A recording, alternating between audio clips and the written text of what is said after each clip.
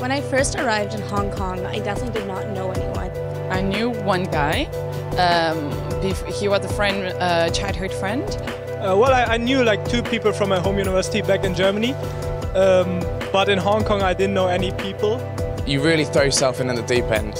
You leave your comfortable university at home where you've, where you've known uh, friends for years. I came all by myself, didn't know anyone here.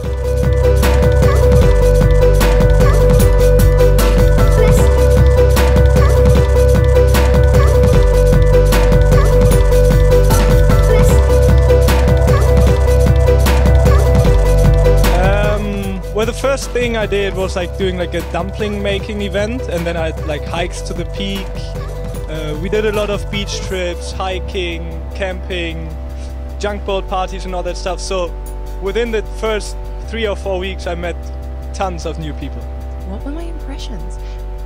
I mean, I had been here before, so nothing surprised me, but I had never seen the side of Hong Kong that was local. I came here as a tourist. I had no idea that I could be in the city like this and then half an hour on a boat or, or an hour on a bus and I'll be striving through the, through the wilderness of um, Sai Kung or Sai Wan or something like that. Enjoy the good weather before we went bad and went to uh, went to the beach, uh, like saw a bit of uh, the other part of Hong Kong.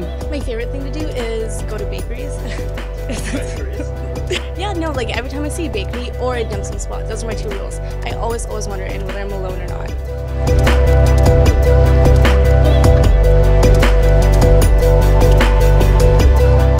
try and learn a new language. I have to admit I haven't been too successful with that one. I have to know how to say thank you in okay. Cantonese. And how yeah. do you say that? Um, ngoy. Ngoy. Um, almost there. Like say it again. Ngoy. Ngoy. Yeah, like ngoy. Ngoy. And it was really easy just to like post things. Hey, today I'm gonna go do this. Does anyone want to come? And through like that way, you just met a lot of people. Of course, rugby. So I joined that. Had never played before. Uh, and did that for the first time ever I made friends with the girls straight away. They took me out for dinner. And also like I did the, a reading week program to North Korea which was absolutely amazing. It was one of the interesting weeks, most interesting weeks in my entire life. I went to Philippines for nothing. I went I went to China last week. It was really nice, especially because I'm learning Mandarin here. Um, I went to Vietnam. I've been to Thailand, which was a great 10 days. I went to Thailand and I'm hoping to go in Cambodia soon.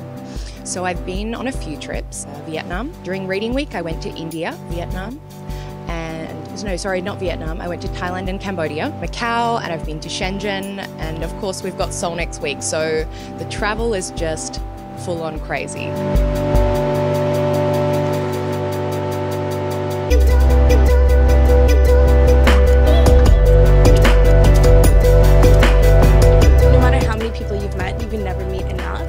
Um, at the beginning, I had like a certain group of people, and it's just like grown ever since.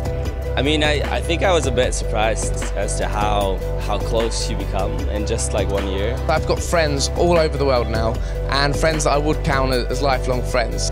I think that's the great thing about being on exchange. You meet a variety of people that all have something different to offer, and that's what I'm so grateful for you discover there's that even if you don't have the same culture, you can be friends with people from all around the world. That's really amazing to have like a, a network all around the world. That's pretty cool.